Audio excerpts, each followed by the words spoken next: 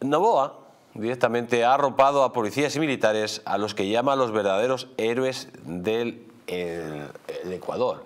En definitiva, Novoa lo que pretende es hacer, convertirse en una especie de Bukele, intentar poner ley orden para salvar su país, señor Magán. Sin duda. Permíteme solamente una, una, precisión para que nos demos cuenta de la dimensión de la noticia anterior, Jesús Ángel.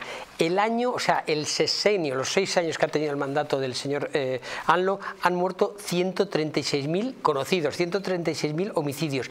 Mueren asesinadas cada día en México 10 mujeres. Y eso lo dice la Confederación Patronal de la República Mexicana, su presidente. Hay el 20, el, en nueve días en noviembre del 23 hubo 682 asesinatos. O sea, es un, eh, un desvarío que no recogen los medios de comunicación progresistas porque eso de alguna manera pone en tela de juicio a este presidente que ha sido un horror para, para, para, para, para, eh, para México. Con respecto al señor Daniel Novoa, Daniel Novoa quiero recordarles que tiene 36 años y se está enfrentando a la degradación que ocasionó la llegada de los narcos que salieron de Colombia y muchos de ellos se fueron a distintos países, entre ellos, lógicamente, a México, eh, a, Centro, a, Centro, a Centroamérica también y a Ecuador. Ecuador tiene unos niveles de violencia que no, no, o sea, no conocían. Ecuador era una, una, un país que no tenía ese conocimiento de la violencia que había sufrido sus cercanos,